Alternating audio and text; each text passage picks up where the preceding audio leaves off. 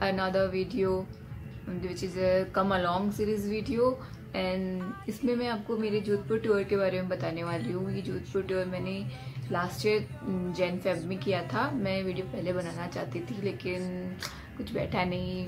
मेरा मूड भी थोड़ा हुआ नहीं, इसलिए मैंने नहीं बनाया बट अब मैंने ये वीडियो बनाया है, जिसमें मैं आपको मेरे Jodhpur tour and how I dressed up myself and वहाँ पे आप क्या देख सकते हैं और किस चीज़ के बारे में मुझे आपको वॉन्ग कर देना चाहिए? मैंने वही सभी चीज़ों के बारे में इसमें बताया है। तो ये एक फन वीडियो होने वाला है बट मेरे ट्योर वीडियो तो बहुत थोड़े से ही होते हैं, बाकी मैं ज़्यादातर डी वीडियो बनाती हूँ। तो अगर आप लोगों को डी वीडियोस पसंद है तो मैं उसके लिए लिंक आपको डिस्क्रिप्शन सेक्शन में दे दूँगी। तो आप वहाँ से मेरी डी वीडियोस भी चेक कर सकते हैं। और अगर आप मेरा चैनल सब्सक्राइब करेंगे तो मुझे थोड़ा संबल थोड़ा सपोर्ट मिलेगा तो please my channel and hit the like button. So yeah, that's it. Let's start the video now. तो हमारा ट्यूर हमने स्टार्ट किया अजमेर से जोधपुर और जोधपुर से जैसलमेर जोधपुर में हमने ओनली एक ही डे स्पेंड किया क्योंकि हमारा मेन गोल था सैंडोन्स हमने जोधपुर के मेन मोन्यूमेंट्स घूमे इसमें मेहरानगढ़ फोर्ट, उम्मीद भवन पैलेस जय माता मंदिर और बाल संबंध झील, ये सब हमने वहाँ पे घूमा। ये सब हमने एक ही दिन में कवर कर लिया और नेक्स्ट डे हम लोग जैसलमेर के लिए निकल गए। जोधपुर एक बहुत ही खूबसूरत सिटी है, उसे आप एक से ज़्यादा दिन, दो दिन भी रुक के घूम सकते हैं। और वो काफ़ी बड़ा और सुंदर भी है।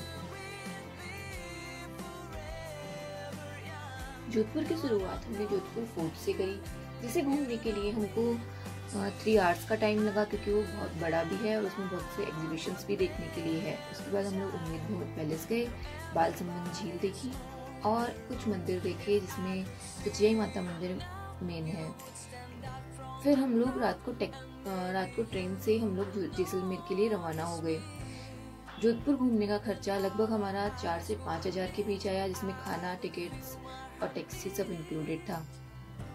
जैसलमेर हम लोग रात को ही दो बजे के अराउंड पहुँच गए।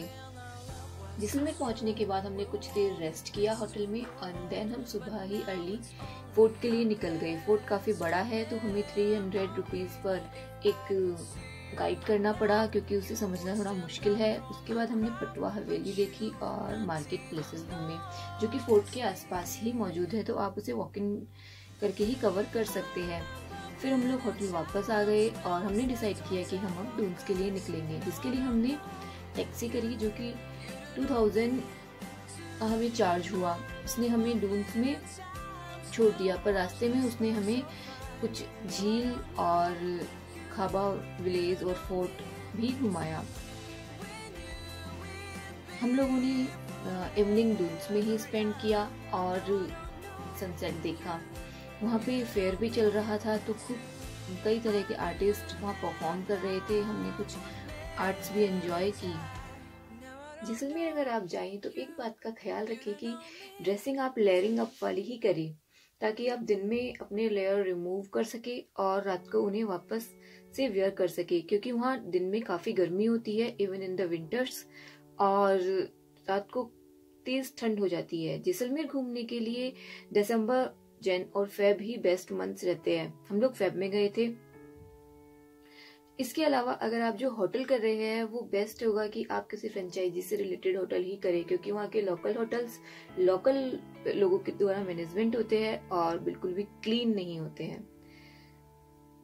दून से आने के बाद हम लोगों ने डांस और टी पार्टी एंजॉय की और फिर डिनर करके हम लोग रेस्ट के लिए चले गए।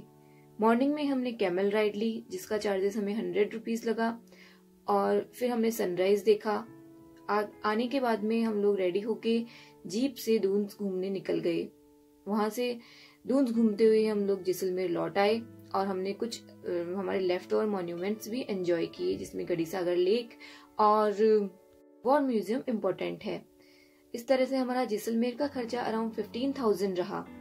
So that's it thanks for watching my video thank you so much.